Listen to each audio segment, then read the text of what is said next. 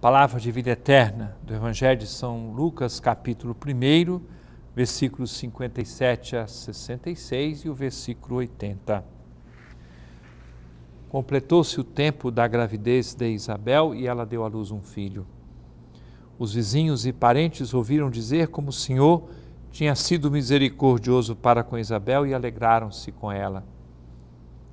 No oitavo dia, foram circuncidar o menino e queriam dar-lhe o nome de seu pai Zacarias. A mãe, porém, disse: Não, ele vai chamar-se João. Os outros disseram: Não existe nenhum parente teu com este nome. Então fizeram sinais ao pai, perguntando como ele queria que o menino chamasse. Zacarias pediu uma tabuinha e escreveu: João é o seu nome.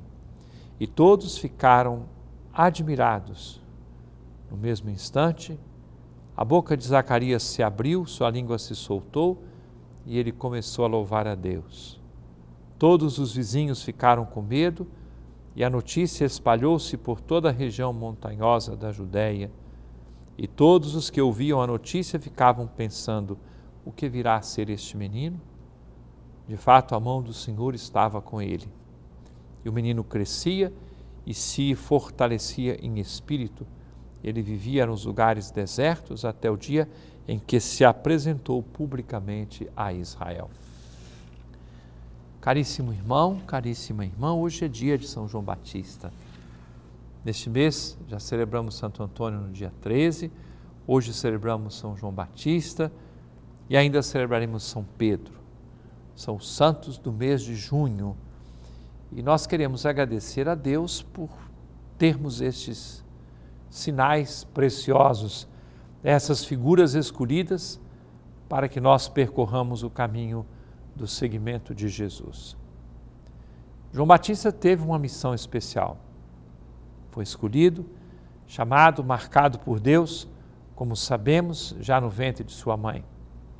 A escolha do seu nome, o seu nascimento e depois o exercício de sua missão.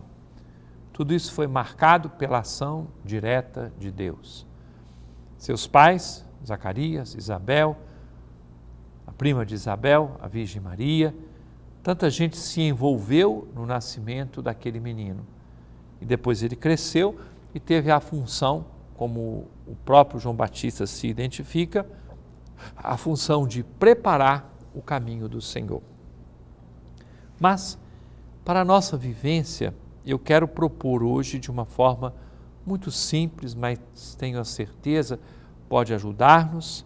O menino crescia e se fortalecia em espírito.